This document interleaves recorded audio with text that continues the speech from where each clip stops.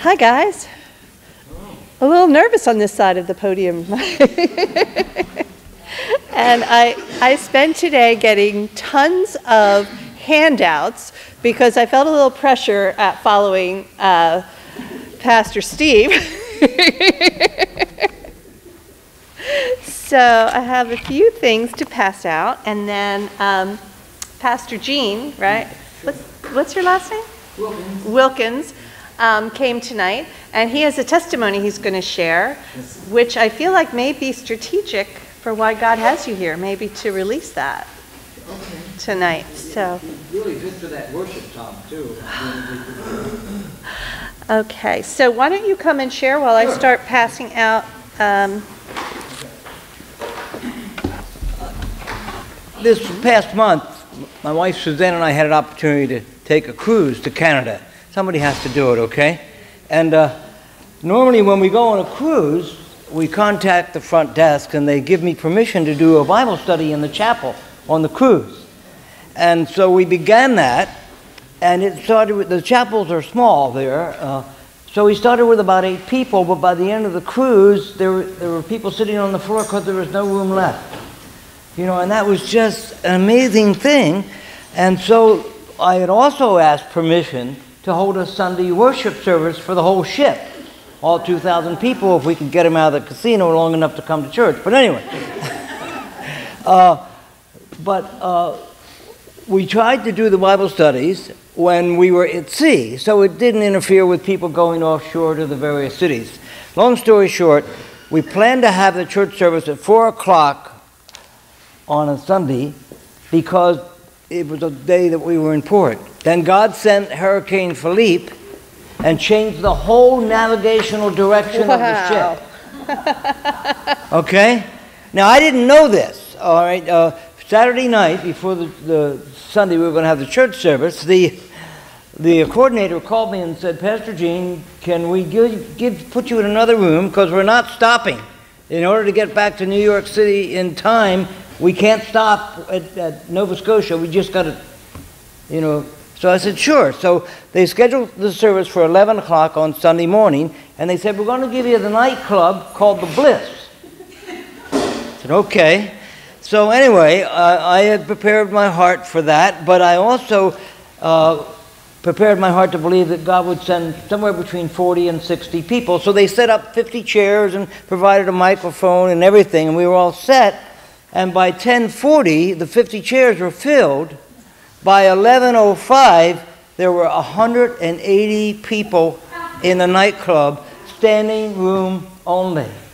It was the most amazing thing to see God do that, and and it, it was uh, it was just a unique time in the sense that God surprised everybody. A lot of the people in the in the daily Bible studies that we held, I guess they must have told everybody they ate with or whatever. But but it was it was I almost couldn't preach. It was so humbling because I, I did not expect that many, and it was it was a sample of the body of Christ. There were people there from all over the world. And there were, there were people there from every ethnic and racial background, even a few Canadians snuck in, you know. And it was one of the most amazing things, and God just touched everyone. Uh, they hung around after the service just to chat. Uh, several, there were several uh, people that were from uh, the Church of the Latter day Saints. They wanted to know about the Holy Spirit and how He works and how God did this whole thing with the service. So then I'll end it like this. What happened later that Sunday, we're having dinner, and the coordinator comes over and said, How'd your service go? I had another meeting. And I told her, and she said, That's it. You give me your business card, I give you my business card. The next time you're on the ship, email me three weeks before we sail, and we'll provide everything you need. Yeah. And I thought I was just going on a cruise. And it was. The cruise, the cruise was awesome. I mean, it really was. But this was like icing on the cake, but it was such a supernatural thing. I mean, they, really, it was literally standing room only in this nightclub. They, were, they weren't, but, but the next group that came in probably would have had to sit on the bar. That's how many people God sent. wow.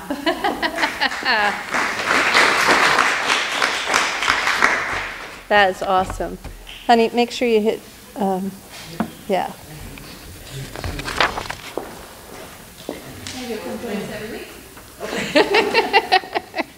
With the new testimony. You know, it's so cool because God's plan is always so much bigger than what our plan is, right? So much bigger. And if you think of the multiplication that happens with just that 180 people, and each person, how that's going to just multiply into the nations. Wow. Whew.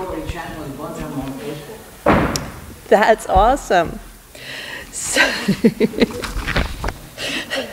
All right, I'm just going to be honest with you. Um, I tend to go on bunny trails. Pastor Steve has been helping me to not go on so many bunny trails. Of course, I've already thought of three listening to your message. so I'm going to try to stay on track. I have given to you some, um, this particular page that I gave you. These are my notes, okay? You might understand, it might help you follow, it might not. It's the creative side of me. It's hard to be really super organized, but I'm really trying. Um, the topics that we're going to cover in these um, few weeks, and this is also subject to change, seeing what God wants to do, what the Holy Spirit says, but we're going to talk a lot about your identity, knowing who you are, knowing who He is, and who you are in Him. A kingdom mindset. Um, I actually have a really fun test we're going to do next week. Um, I don't know if any of you have ever done the prince versus pauper test. It's, um, I don't want to say it's fun because it's like, ouch, ooh, uh. Do you love the sale rack? Ooh, yes. um, but it also helps reveal whether we're really understanding the kingdom mindset and what, what God um, has for us. Um, love, the prophetic, uh, releasing supernatural, which is kind of the whole theme throughout. Um, the apostolic prophetic culture, because one of the visions that uh, Pastor Josh has, which I am so excited about, is shifting the culture here. Um, we'll go into that a little bit more in detail, but shifting from a going to church on Sunday mindset to an apostolic culture, which is what the first century, century church was founded. A culture of honor, which is one of my favorites, and then my absolute favorite will be Encountering Heaven. So I've, I have requested, we're hoping it works out for us to move into the sanctuary so we can have carpet time for Encountering Heaven. So I know some people are laughing, are we sure? okay, so we're going to start with a supernat living a supernatural lifestyle. Um, any of you that have been very frequently to either the healing class on Friday or the supernatural Sunday, I apologize if you hear some of my same old stories. I'm working on getting some new ones, but it's a process, but uh, there's one story that I just need to share before we start. Um, I listened to a teaching by, um, he's the pastor over Jesus Culture, uh, Banning. Um, Leipzig, Le, what's his last name? Something it's difficult to pronounce, but Banning, we'll call him Pastor Banning. and he talked about when he was so nervous when he got up to preach. I, no, it's not, no, his first name is Banning. Banning Leap something. Okay. Yeah, he was teaching one of the courses I was taking. And he said he was so nervous the first time he got up there to preach, which I'm feeling that right now. And he said, God, please, please let me be a great preacher tonight. Just tonight, let me be a great preacher. And God said, Well, if that's your goal, you're going to fail. And God said to him, Be a son. And he's like, Okay, I know how to be a son. I can be a son. Said, You're going to be a great son. And he said to God, I have to think of another word because it might not be appropriate being filmed on, on Facebook, but um, he said, Okay, God, I'll just be a son, but please, please don't let me be terrible. you can interject whatever word you want to that he actually used. so today I'm going to get up here, and instead of being a great teacher, I'm just going to be a daughter. It's, it's still, I go through the same anxiety. and, you know, I do it all over the world. Those that, I don't know if most of you know, I travel all the time and I'm speaking. But here's the key I have an interpreter, so I get to take a few minutes while she's saying what I said and review my notes and think about how eloquently to say the next thing. So it's a little different. Okay, so in living the supernatural lifestyle, we're going to be talking about so many crazy, crazy things during this because we serve a radical supernatural God, yes? Mm-hmm. When you read through the book of Acts, things get crazy. Now, how many of us live a life like the book of Acts? Anybody? I'm not there. but yet, it's written because that's supposed to be the model for normal Christianity. And yet, when was the last time that I raised the dead?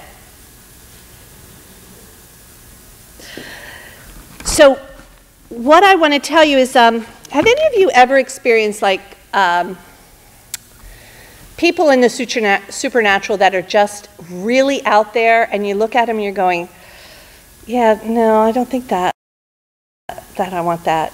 What do you, anybody? Yes? No? Maybe? What, what? You're one of those people?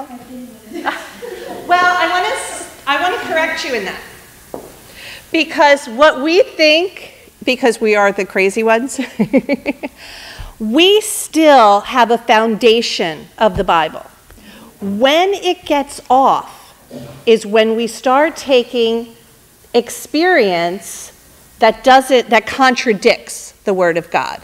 I don't want to say that every experience you're ever going to have you're going to see necessarily in scripture, but it's never going to contradict. I mean, there is a psalm if anybody can think of it, I can Google it and get it to you later. Um, where God says he can basically do whatever he wants.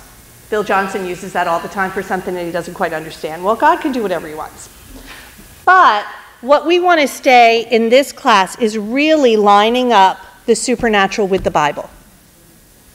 And I just want to say it's a pretty high standard for the supernatural. I really don't understand people that say that these things really shouldn't be happening when I'm reading and I'm going, gee, Paul went to heaven. Hmm. Why are they telling me unless we have access? We are already seated in heavenly places, but that's another lesson. The second thing that we're going to do is revelatory. Now, I made up a few words here, okay, just to make a point. Foundational, revelational, really not a word, it got underlined. Experiential, practical, and potential. I know, I'm a little crazy. You're just going to get used to me in a day or two. so, the foundational is how we line it up with Scripture, that it does not contradict Scripture. The revelational I love because there's a scripture, and I, I learned this in a course from Patricia King. Um, I have it written here. Proverbs 25 says, It is the glory of God to conceal a matter, but to search it out, to search out a matter, is the glory of kings. So God hides things for us to dig into. Did you ever start reading and you just kind of had a little bit of a question? Know, what are you what are you saying there, God? And it causes you to dig deeper. And when you dig deeper, you get the revelation. And when you get the revelation, the next passage says, The secret things belong to the Lord our God, but the things revealed belong to us. So once you get the revelation, you can have it. It's yours. And I love this part to us and to our children. So, the things that you are going to get revelation of, some of you may very probably have all the revelation that I have in this, this course. I hope to be interactive, that I'm going to share what I've learned and you can share what you've learned so that we can all grow. Because if you have, you know, if Dana has a revelation that I haven't gotten yet and she shares it with me and then we start digging deeper, we can have it, right? How would we know that we can lay hands on the sick and they'll recover unless we had a revelation of it. Right? Absolutely. Absolutely. And, and sometimes God reveals it in layers because we're not always ready for the full revelation of it in the beginning. Um, an example there's a scripture that I'm going to talk about um, a little later in Matthew 10 where it says, um, Heal the sick, cleanse the leper, raise the dead. Love it. Love that scripture, right? Anybody else with me? Did you ever think about what it means to cleanse a leper? It doesn't say heal a leper. I mean, that gets covered under heal the sick. Um, my first trip to India, I went to, uh, God told me I was going, well, it was actually my only trip to India. God said, I'm sending you to the leper colonies. And I went, oh my God. what if I catch it? Something really twisted in that thinking. I'm going to pray for the sick. I believe in divine healing, and I'm afraid I'm going to catch it. but um, I came out, I'm, I'm okay. But cleanse the leper. What does that mean? No. It could be, that's true, but that's not what that's not the revelation I got, but it could be. Cleanse is to bathe someone. It's an intimate act.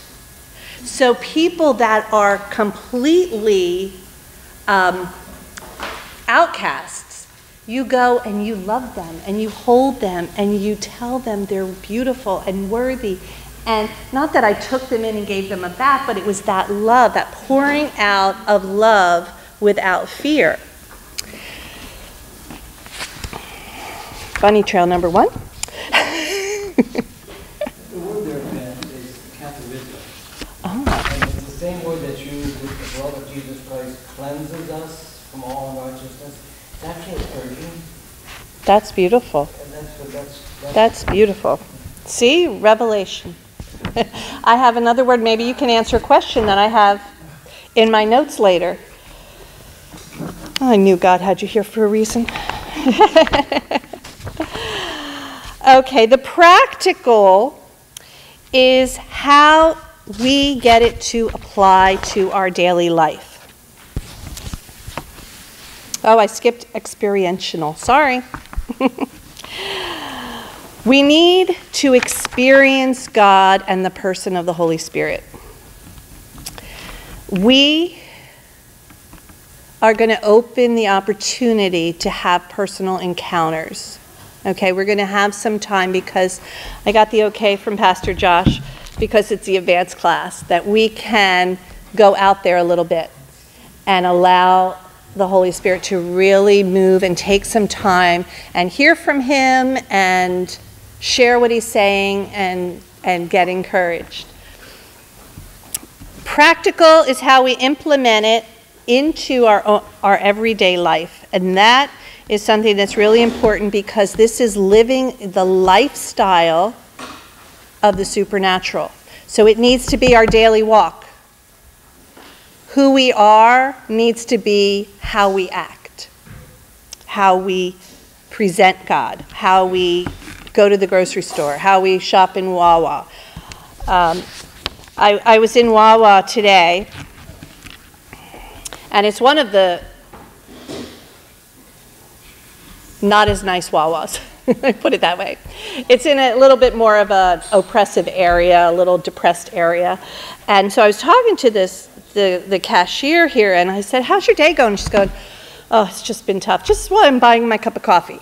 And she said, It's just been tough. They just moved me over here from another store and I feel like it is sucking the life out of me. And so, what an opportunity God put right there for me to start to say, Well, you know what? I'm going to pray for you because I don't feel like God wants you to be pressed down in this. He wants you to come up here and change the atmosphere. Go for better. It doesn't have, just because we're in a bad area doesn't mean the Wawa has to be bad. Let's bring it up like the rest of them. You know, meeting her where she's at, but still sharing that God is able, that God's not wanting her to be sucked into her situation, but He wants her to rise up and change the situation. Potential, a Miss Pam word. uh, potential is because there is so much more. There is so much more than what I've experienced.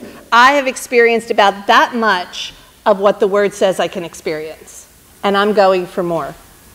Anybody with me? Who wants more? I want more. There's a great book, Randy Clark book, um, called There Must Be More. And when I read this book, and this is book, he talks about how he was a, a Baptist pastor, and he's like, but we don't fall on the floor. we just don't do these things. And it was how God started to reveal himself to this, you know, he I love how he says, just little old me. And God wants to show that to us. He wants us to search for more because if we see more, we can have more, right?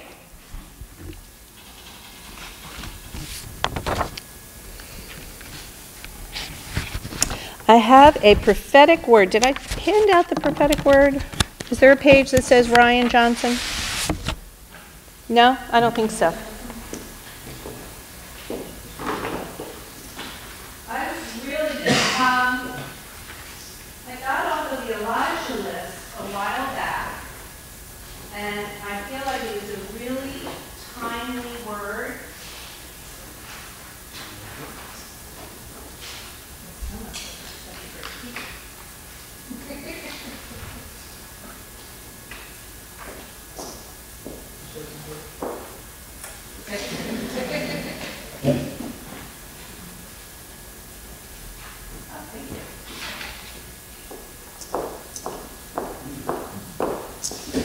Giving you a lot of things that you can take home and keep because I feel like that's going to help in case you have questions later.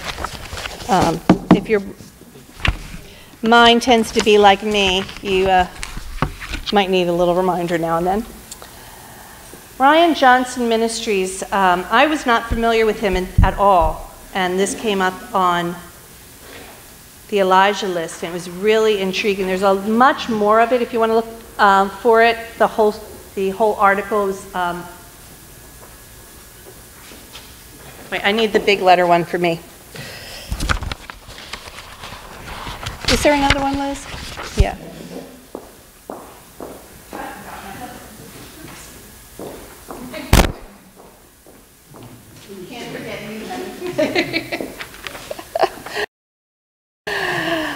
Um, anyway, it was around uh, the end of August on the Elijah list, but if you Google it, you'll find it. It says, I, The Lord said to him, I need you to prepare yourself for the unexpected. And when I read that, I was like, that's a now word. We're living in a Kairos time. We talked about that a couple weeks ago at the Supernatural Sunday nights. Granted, it's not a powerful or life changing statement, but it did make sense. Though I was going to one place, he took me to another. You see, many of you are about to see the hidden things, what we were just talking about, come to light again. There will be individuals who will begin presenting to you the words that they discovered. You will also come across prophetic words which you were never looking for, but they found you. It will be easy to pay little to no attention to these words, but they will be keys to unlock your region. Prepare yourself to come into agreement with the prophetic decrees of those who went before you. God is aligning the generations, I love that word, for a movement of the prophetic that will unlock signs, wonders, miracles, healing, salvation, and much more. These apostolic runners are breaking through that we may see the unity Ephesians 4, and in this class we're going to spend a lot of time in Ephesians 4. We discover that the equipping of the saints and the building of the body is for unity of the faith and of the knowledge of the Son of God to a mature man, to the measure of the stature which belongs to the fullness of Christ. God is using a fivefold for the unity of generations, even the generations of those that have crossed into eternity. That was interesting when the prophetic is spoken into the atmosphere, those words never cease to be until the moment of fulfillment. The runners or the messengers are breaking through, and God has given you the authority to break open the seals to see the prophetic words released into their destiny. Get ready to open, agree, and see. It's a good word.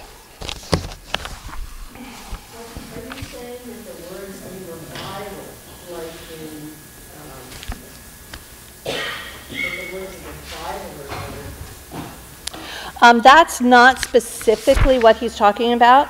He's talking about, um, I'm going to give you an example. Okay. Um, do you, have you ever heard of Bob Jones? Bob Jones is a, a prophet who's gone on to be with the Lord. Um, he declared this, this particular prophecy was very important to me. When I tell you, you'll understand why. He prophesied that there would be the largest revival in history birthed out of Russia. Now, I spend a lot of time in Russia, and so when I read that word, later I found out that John Henry, the old prophet from China, had a very similar prophetic word about Russia in, I want to say the early 1900s, I believe he was alive. Anybody know for sure? No. Um, so, what this man is saying is that there's a time now that these prophetic words that we have not seen we can begin to declare them. Do you understand? Uh, okay. Okay.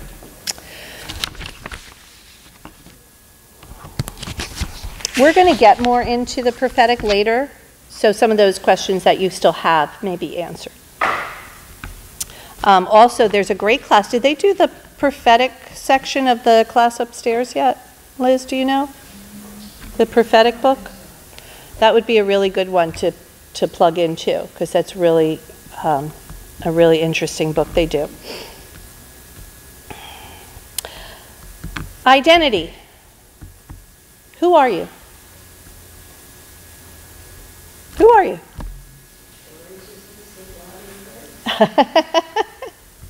Anybody else? Who are you?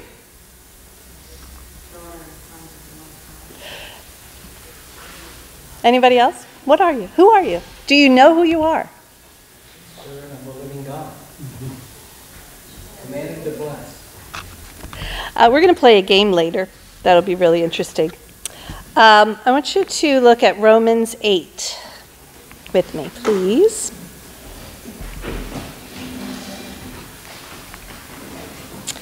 Knowing who we are and who He is is crucial I was going to say for the supernatural, but it's crucial for any type of life in Christ. And can I share from something from John 13? That was the key to Jesus being free to wash the disciples' feet. He knew who he was, he knew where he had come from, and he knew where he was going. Amen. And, and that freedom allowed him, the Son of God, to wash the disciples' feet. He knew who he was. He knew where he came from, and where he was going. That is really interesting. That is very critical to our identity because if you don't know that, then there's a lot of ministry you can't do because you just won't be secure enough to do it. Mm-hmm. That's good. Romans 8. We're, we're treading on my favorite scripture of all time. You'll hear me say that a lot because I like them all. um, we're going to start in verse 19. I have a funny story about verse 18 that starts with I consider that our present suffering is not worthy to be compared to the glory that shall be revealed in you. Um, how many of you know that I'm a ballet teacher by trade? I've taught ballet for 30 some odd years, maybe more, but I don't want to be that old. Um, anyway, so I used to have all the girls in pointe class with the shoes that you dance like this, and they would start crying and their feet would bleed, and I would quote this scripture Do not consider your present suffering worthy to be compared to the glory that will be revealed in you. But anyway, this, this next line. Um, Jan, could you read it for us? 19? We're doing it 19 to 23? Um, start with just 19. I wasn't sure if you that part. 19, uh, for the creation waits in eager expectation for the children of God to be revealed. Who are the children of God? All of creation is waiting for us to step into our identity, to know who we are.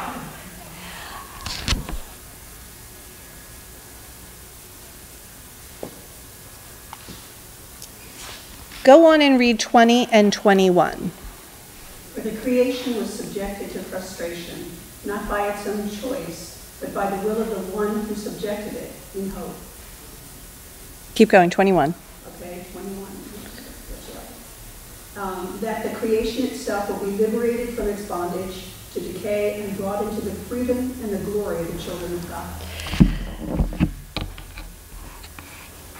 That is so interesting to me.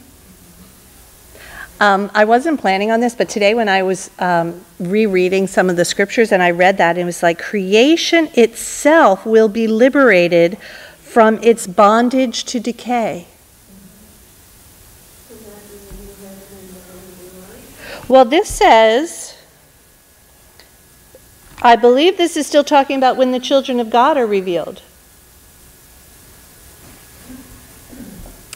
I'm going to quote my, my dear partner in crime, Damien Correa. Um, if we make heaven, that we're waiting for everything till we get to heaven, for the new earth, all of that, we've made death our Savior. The Lord's Prayer says, on earth as it is in heaven. That's what we're praying. We're praying to have heavenly encounters here, to bring the kingdom here. But that's just.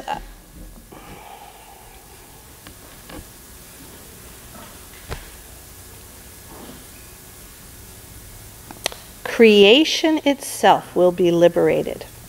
We'll just ponder on that one. Anybody have more revelation on that? What do you think? It's safe territory here. What does yours say?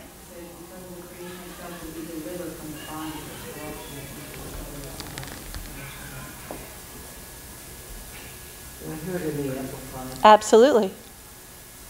That that nature creation itself will be set free from its bondage to decay and corruption, and gain an entrance into the glorious freedom of God's children. Wow. That's present and future. It's all. Yeah. Are they talking about human beings? Are they talking about plants, animals? The- the- All creation. All creation. While we're still walking on this earth before the new earth, Just saying what it says. I'm not saying we're just, this is where we are trying to dig into the secrets. We have to look at the original creation and the Mhm. relationship that Adam Yes. and Eve had with the entire creation. right, but we've destroyed. But But Jesus came to redeem us. Not to redeem us only for heaven, but to rede- redeem us now. Right. Yeah. And is it possibly, perchance, because we as children of God have not tended to the garden?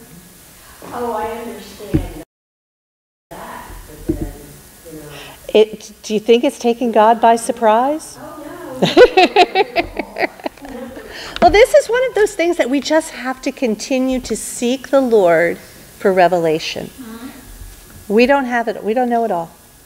He almost does. I'm really impressed. Thank you.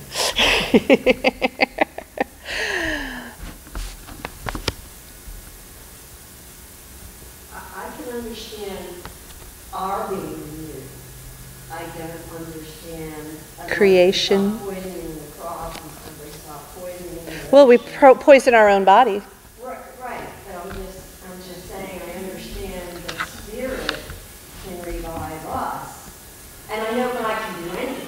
I'm just, you know, it's, just a little hard to believe Mm-hmm. Sometimes. But you know what I feel like happens? I'm just speaking on my own understanding right now, is that sometimes we are so focused on what we see on the news, what we see around us, that we stop really seeing it from God's perspective. You know, He's not surprised by what's going on, and He's kind of saying, Kids, wake up. Come on, you got some work to do.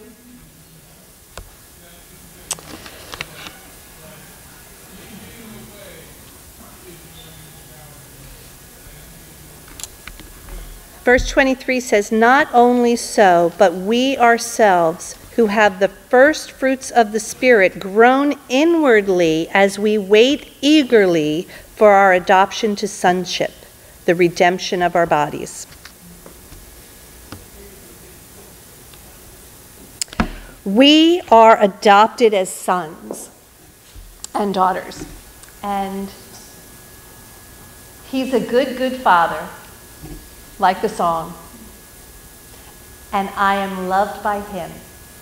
That alone blows my mind.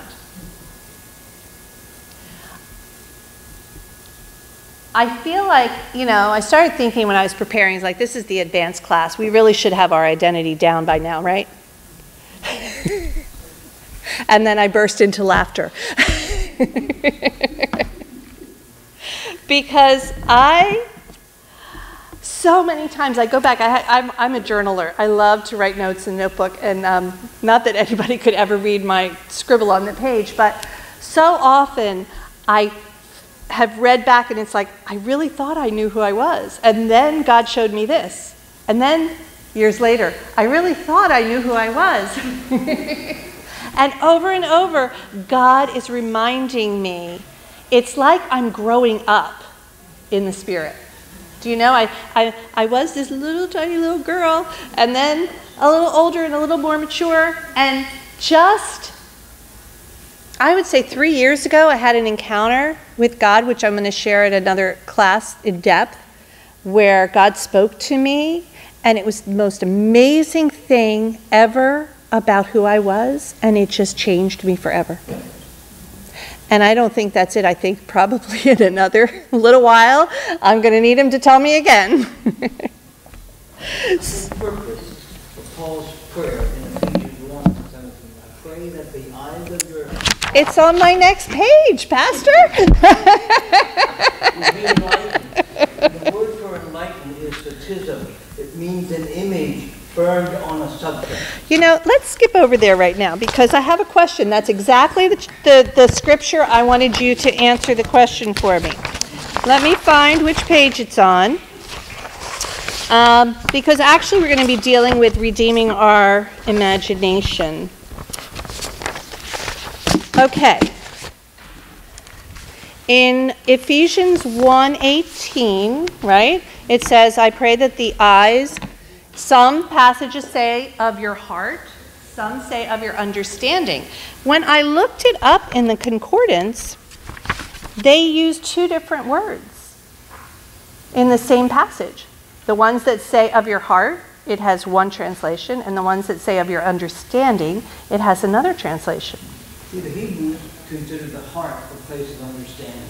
Yes. Thy, your, thy word have I hid in my in heart. Mm-hmm. You're not, not in the organ, in that seat of understanding.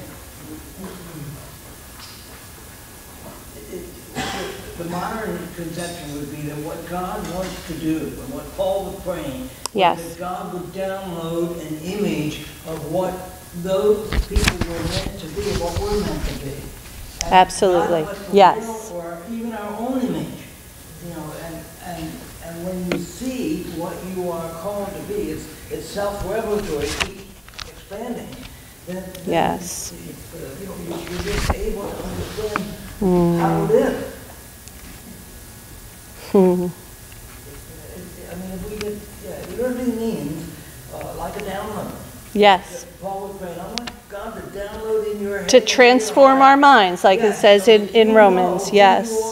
From my perspective, not from your own or other, I mean, people love to shape us according to their image. Yes. And, uh, Um, We're going to take the, we have to take the break in just a minute, right? Is it 7:20 we take the break? Um, Hoping, I have a little game I want us to play, and it's about identity. And it's going to be kind of like speed dating in the prophetic realm. I'll just leave you with that. Um, what we're going to do is we're going to play a little game. Now, when when we play it, I'm going to just give you the basic, basic prophetic guidelines. Um, what is a prophetic word? A lot of you have had this teaching before. What does it need to be?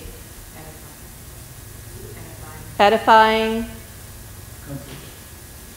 comforting, building up, pulling out the gold, encouraging.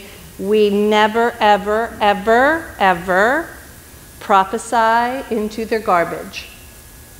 Okay? God wants to pull the gold out. Okay? And we're going to take a break, and then I'm going to explain to you why I gave you those guidelines. Okay? See you in how long is the break? 10 minutes?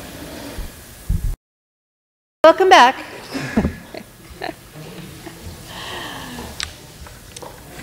Kind of getting a feel for what it feels like to speak for two hours. Tell me if you get tired of hearing my voice for two straight hours. the, we left off with talking about um, identity. Um, I take a course that's out of Global Legacy, which is part of Bethel from Redding, California, if any of you are familiar with that um, uh, school there. And I take this leadership course. I'm in the second year of it. And the first month of this, this year was the whole month was based on do we believe what God says about us? And on the surface, I was like, sure, yeah. And the wonderful thing with these particular courses is they dive right into the heart. It's like, really, do you believe what God says about you? And I'm going to be totally transparent that I struggled with this a lot.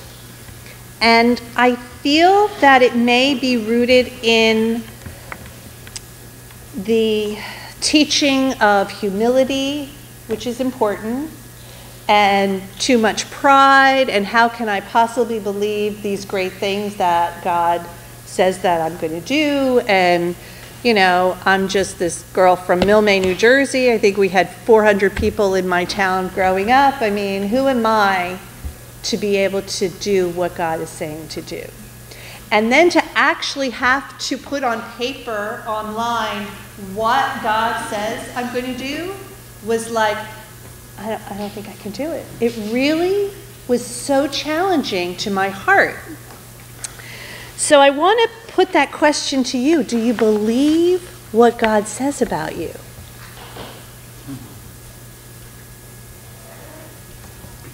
We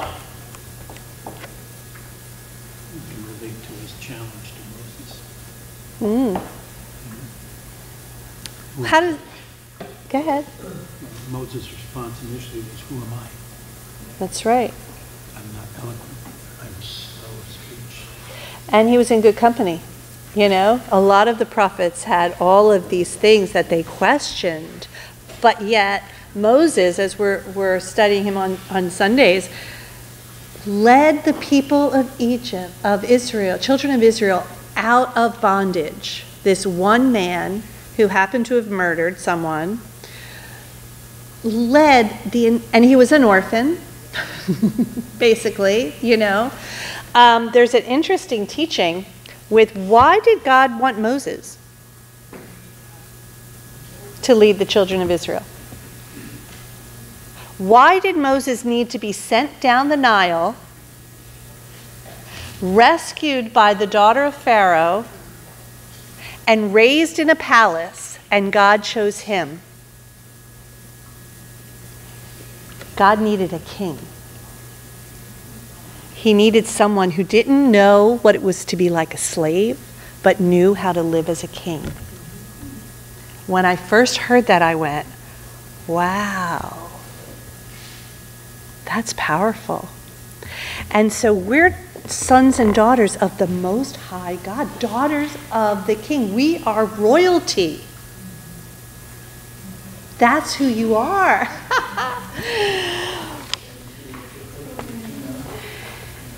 yes, royal priesthood. You are chosen. You are picked, selected. And there is no one else that can do what God has called you to do. There is no one else. It's your, He has planned your purpose before the foundations of the world. He has prepared a good work for you. What's the truth behind Ephesians 2:10? We are His workmanship. There's this translation that I love that says His masterpiece. Yeah, that. that's the word, poem. Poem. That's the word in the poem. Wow, you're His poem. Yeah. Yes, you are, and you know it. You are. wow. You've got to get rid of this concept that when you talk about good works, people think you're earning your salvation. Absolutely not. Absolutely not. Whew. okay, so we're going to play a game. Um, I'm just going to go a little bit again into the prophetic because we're taking a risk. Now, first of all, I want you to feel a little bit secure in who you are. Okay, because prophesying is going to be new to some of us to prophesy over people. And when it slightly scares you, am I okay, Bill, with this?